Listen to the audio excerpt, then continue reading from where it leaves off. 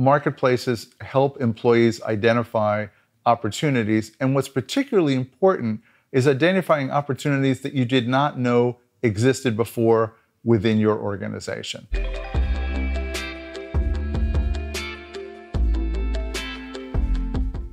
There are three things that are probably core to the dynamics of a talent marketplace. Number one, marketplaces help employees identify opportunities. And what's particularly important is identifying opportunities that you did not know existed before within your organization.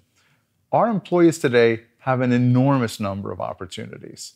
Unfortunately, the opportunities that most employees can see outside their organization are easier to see and easier to get to than the opportunities inside their organization. Right? We've talked about this data many, many times, which is one of the reasons people leave is for opportunities outside.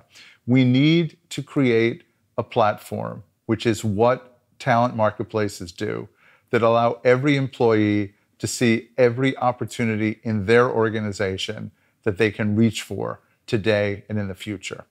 The second dimension of a talent marketplace because it is an actual market. It's bringing together buyers and sellers, right? In, from some sense, the employees are the sellers. They're selling their interests, they're selling their skills into the marketplace. The buyers are the business leaders and the HR leaders in the organization. Right? And one of the great things, one of the exciting things about a talent marketplace is it allows the buyers, the business leaders, the functional leaders, the HR leaders in real time to sort of hold up their hand by putting an inquiry into the talent marketplace and say, these are the projects that I need to do. These are the skills that I think I need. Can you help me to do this in different ways?